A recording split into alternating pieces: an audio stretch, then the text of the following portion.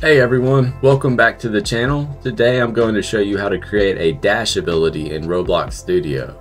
This is a great way to add more dynamic movement to your games and make your characters feel more responsive. This tutorial is going to be simple, so even if you're new to scripting, you'll be able to follow along. Let's dive right in. First, let's set up our dash script. In the Explorer window, go to Starter Player and Starter Player Scripts and click the plus icon and insert a local script. Let's rename this to be dash script. Inside the script, we'll start by defining some variables. We're going to need a few things, a reference to the player, the character, the humanoid, and some parameters for our dash like speed and cooldown.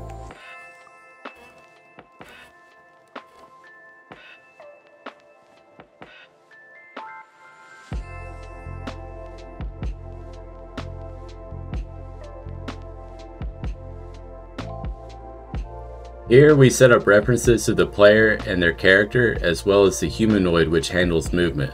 We also define the speed of the dash, how long it should last, and a cooldown so the dash can't be spammed.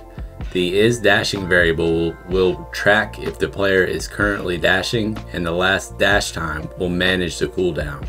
Now let's create a function that will handle the dashing. This function will move the player forward quickly for a short period of time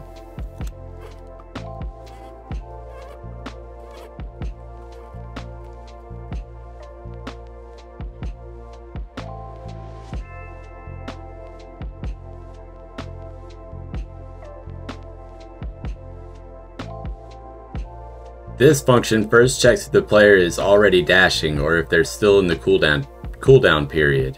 If they can dash, we set is dashing to true and record the current time.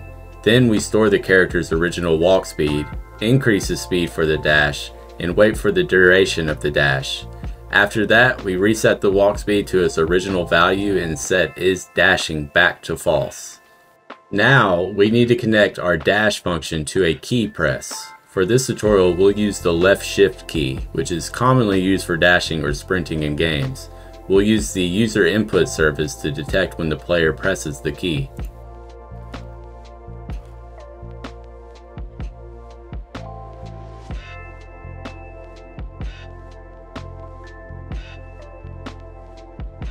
Here, we use user input service to listen for when the player presses the left shift key. When the key is pressed, we call our dash function. The game processed event parameter is used to check if the input was used by another UI element, but in this case, we're ignoring it. Now let's test our dash ability. Click the play button at the top of the screen and once you're in the game, press the left shift key. You should see your character dash forward. Remember, it will only dash if the cooldown period is passed. Awesome! And that's how you add a dash ability to your game in Roblox Studio. You can customize this further by adding visual effects, sound effects, or even implementing dashes in different directions. If you found this tutorial helpful, please be sure to like and subscribe for more Roblox Studio tutorials. Drop a comment below if you have any questions or if there's a specific feature you'd like to see in the next video. If you have something specific about dashing, I'd be glad to add it. Just let me know what you'd like to see, and I will see what I can do. Thanks for watching, and I'll see you in the next one.